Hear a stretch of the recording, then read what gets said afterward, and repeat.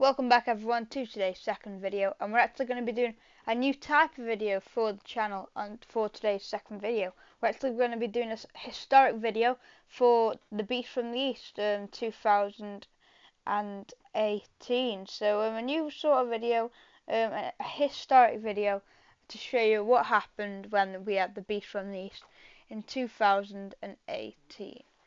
So, uh, I just thought it would be a bit more exciting to show you what has been happening and uh, what happened in the winter of 2017-2018 when we had the that was the last really very very cold um, spell we ever had the beast from the east so.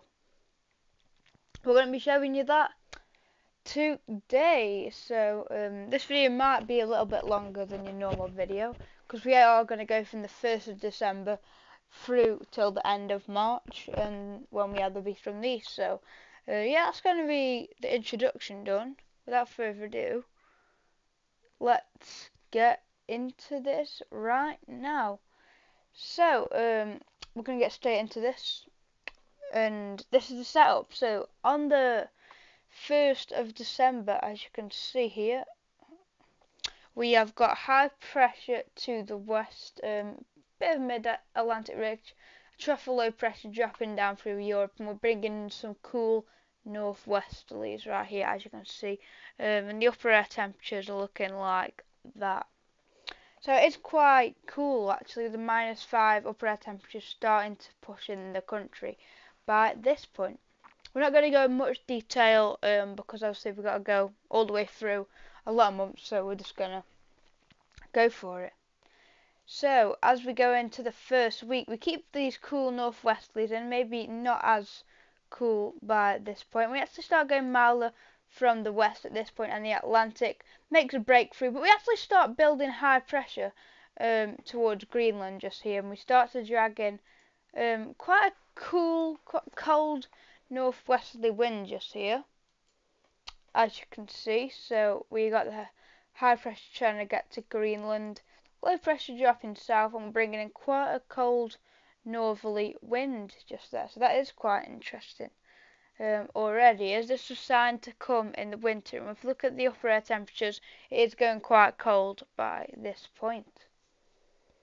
Okay, so as we carry on going through to the 10th of December, we actually keep it quite cool from the north there, and then we actually drop a very, very deep area of low pressure into the country, and we do um, we do go a little bit milder by this point. As you can see, there isn't actually that much cold around around Europe at the moment. We've got a lot more cold at this point than uh, this year than we we did actually then. So the cold really not much sign of it in December, but we do pulled wind into a cold northerly.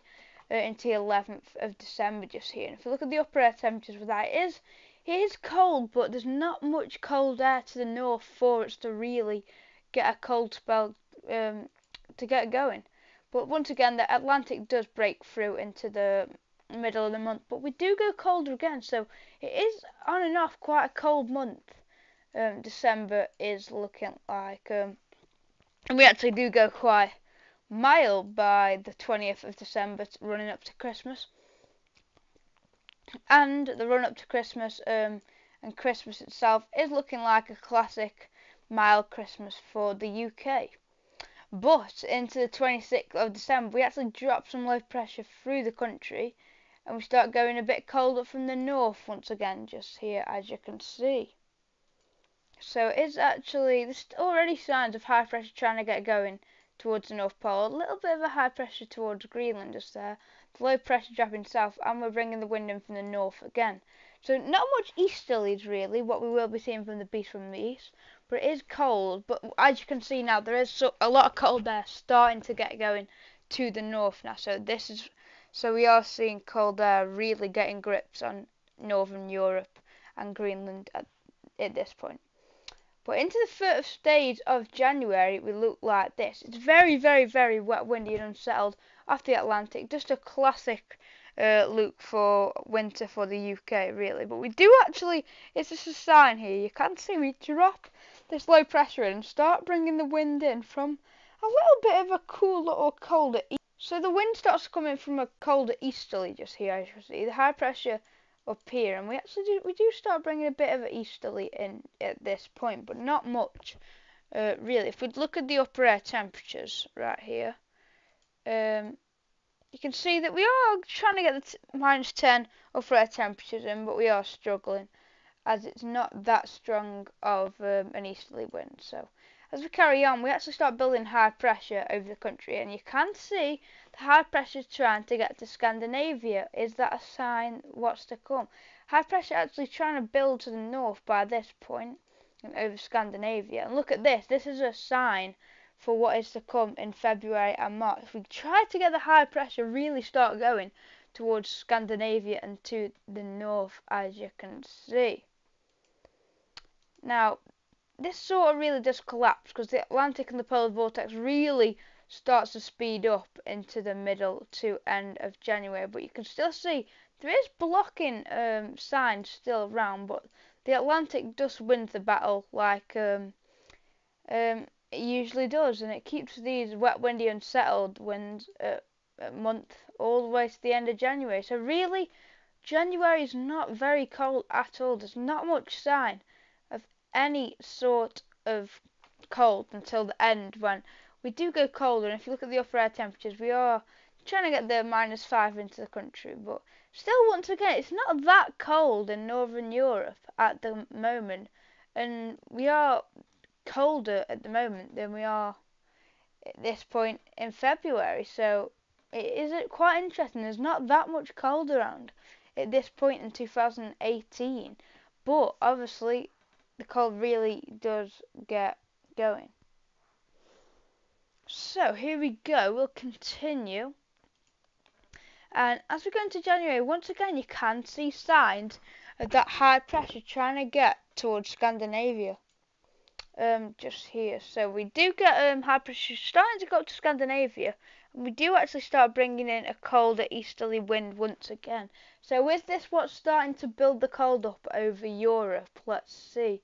So there is a, bit of cold starting to get going over Scandinavia, Swe Sweden, Norway, and Finland just there. We are getting some cold starting to get going. Some quite severe cold at this point. Once again, you can see that high pressure keeps trying to get towards Scandinavia, and we keep the wind in from the east by this. And the upper air temperatures are looking like this. So we actually are getting the minus 10 in by the 5th of 5th of February. And you can see there's a big, big, big cold pool now. Just sitting out to our east, as you can see. So the cold air pushed out of Scandinavia just here. Um, and pulled down into European. Is that a sign that's going to start pushing in. Let's see. So as we continue, we'll go back to the 500 millibar heights, uh, like this. We keep the wind in from a cooler direction, but then the Atlantic breaks through, and we start to go milder from the west once again. So maybe signs, but it sort of collapsed by this point. But this is where we get the SSW around here, and you can see there's still signs of high pressure trying to still get going towards Scandinavia. Now this is where it gets interesting. As we go into the 18th and the 20th of February, just here, you can see the high pressure is at. There is signs of something interesting going on here. So we've got high pressure base pla uh, placed over the country just here as you can see. So we are still mild at this point but look to the north. We've got very high pressure is sort of stretching up towards Greenland and Scandinavia as as you can see. It's not very strong high pressure but there is signs of it there. If we look at the upper air temperatures now and just look how cold it is getting over Europe as you can see. So the cold is really getting to start going over Europe now. And all we need is a bit of high pressure up towards Scandinavia to drag this cold air down. So once again, we're on the brink of very cold by this point. We are actually quite cold at this point, but we're just not getting the severe cold anywhere near us at this point. As we continue into the 21st of February, this is where we really know something is starting to happen at this point. You can see how unusual this pattern is. So we've actually got the high pressure over the country and it looks like it's starting to go up here. So it's not really that much of a Scandinavian high, it's trying to go all the way up there. And let's look at the upper air temperatures now and you can see look how cold it's getting over Europe just there. So we're on the brink of something extremely cold at this point. And as we continue, the high pressure, this is where it gets interesting. This is the main bit. The high pressure pushes north uh, to Greenland and Scandinavia right here. And this is the proper bit. This is the bit where I started to know the beast was on the way. So uh, we're going a bit more detail detail because this is basically the start of the beast from the east. We've got ex an extreme blocking blocking area of your high pressure stretching from the UK all the way up towards the North Pole up there. Very, very interesting. We've got a trough of low pressure and an extreme cold pool sitting over Europe. Let's see what the upper air temperatures look like.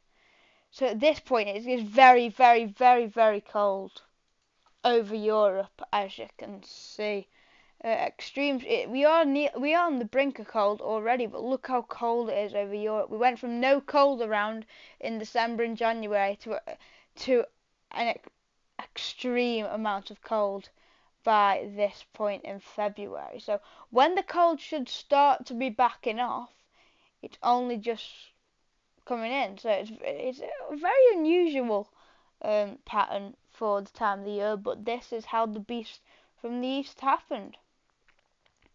So we'll go back and see what happened. So that high pressure leaps north, as you can see, right here. And then this is where we start to introduce the beast from the east.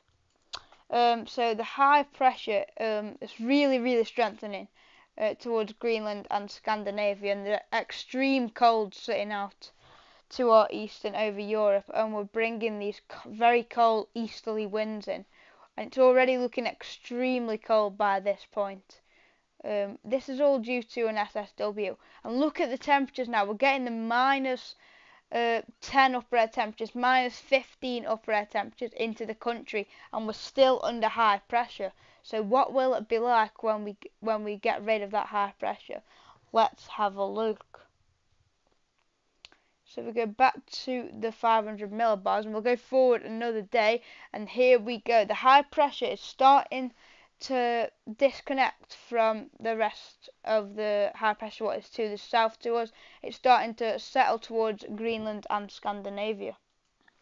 And the wind uh, with this high pressure, huge high area of blocking up here. We've got the low pressure dropping south. We've got extreme extremely cold easterly winds coming in uh, from Siberia right there. So very, very, very interesting um, charts from 2018 as you can see. I'm going to show you the upper air temperatures looking like this. So look how cold it's getting now. We've got the minus 15 temperatures in and the, the minus 20 is is very, very close to us. So extremely cold by this point as you can see. Continue into the strongest part of the beast from the east, just look at this. This low pressure here slides through and this is when it really gets cold, just here. So this is the situation with that high pressure strengthening over Greenland and Scandinavia. This low pressure drops in and we start to bring some gale forced easterly, southeasterly winds in. Um, some of the air originating from all the way up here. Um, just to note, by the way. That's why it is so cold. With this cold pool, there's no way out. The high pressure is blocking it from going up there. Um, it's the cold pool's stuck in here, and it's just going to keep coming in like that. So this is a very, very cold pattern, and uh, very, very rare, and we don't see them much these days at all the upper air temperatures start to look very, very, very, very cold. We've got the minus upper air temperatures nearly at minus 20 at this point, so extreme cold. As you can see, that cold pool um, um, dropping in to the UK at this point. Also, I just want to show you that look at the look at the how the coal's being sucked out of um, northern Uh, Scandinavia there. This is where the cold should be towards Scandinavia, but instead the high pressure's blocked it and pushed it down, and that is why it's so cold over Europe and the UK. So it's very, very cold by this point on Wednesday, the 28th of February. Usually by this time of the year, we're starting to see spring, but at this point, winter was only just getting started, really, and it, this is what it's gonna the pattern's gonna look like for quite a while. So once again, for the, into the opening days of spring, the first of March, we actually start to try and get the upper air temperatures up. We're still looking at minus five and minus ten for a lot of the country, but as this these mild this milder air pushes up into that cold air, we see a lot and a lot of snow uh, by this point. So keep going forward, and as you can see, these easterly winds just keep on uh, coming in. The cold is sort of backing off now by this point, but still very, very cold. A lot of wintry showers around and a lot of snow on the ground from most of the country. And at this point, we're still very blocked, as you can see. We'll go more in detail on this bit. So I'll go a bit more in detail on this bit. So we've got an area of low pressure in the Atlantic trying to make it milder, but it's getting trapped by um, this high pressure up here and a little bit of high pressure here and we're still bringing in them easterly winds just here. So this produces a lot of snow as well as um, the precipitation um, moves into the very cold air just here. The upper air temperatures once again they're trying to go milder but with how cold it is on the surface I would think we'll keep it very very cold and wintry by this point. As we keep going through into March we actually do start to back off so the main part of the beast from the east, has ended here, and we're actually going milder from the south. But don't click off the video yet. That is not it. The beast from the east is going to have another go. So we actually go milder from the west by this point. Then we see, but then at this point we even start to look at that pattern again. So low pressure to the south. Um, and high pressure starts to try and build over Scandinavia once more. Um, by this point, the heights really start getting rose again to the north, and we slot the wind back into a very, very cold easterly, and it looks just like the beast from the east, but later into spring now. So right in spring now, 17th of March, and it's still snowing with these charts. So we'll show you how this happens. Uh, so we've got the high pressure to the north once again. We've got that cold pool sitting over here bringing the wind in from a very cold easterly. So obviously it's not going to be cold at as as cold because the cold air will be retreating all the way up to the Arctic by this point. But as you can see, the upper air temperatures dropping once again down to minus 10 or maybe even minus 15. So it's getting back to how it was when we had the beast from the east and we keep the wind in from the east as you can see very very cold. But temperatures obviously you can see the cold air is retreating up to the arctic circle by this point. So we are getting minus 5 and minus 10 into the country. So still very cold. And then finally high pressure breaks in. Still cool but as you can see here we go. The the is this the time for spring to start to break through? And yes it is. The atlantic gets in and we we still got trying to get high pressure going to Scandinavia, but at this point spring's getting going. Um, a lot of showers, and that is it really. But it's still signs of trying to go cold, even to the end of March, as you can see. So it, March is a very very very cold month, really, um, as you can see. And this is it now. Spring's in, winter's over, and the beast from the east has disappeared for for the winter and we're still waiting for it to return to the UK but one day it probably will. We will have another cold spell but we don't know when it's going to happen. So so yeah very very uh, interesting charts to see these days as we don't um, have any events like this often at all these days. But you know it will happen again one day. It could happen this winter. Could happen next winter. It might not happen for another five years, but it will. Um, so thanks everyone for watching and historic video for today's second video, the Beast from the East 2018. Um, yes, thanks everyone for watching. I'll definitely do more historic videos. I can do some of the coldest decades ever, the winters of 1940s, 1960. Can do Christmas blizzards, all of that, whatever you want to see, um, I can do. So thanks everyone for watching, and we'll see you in the next one. Goodbye.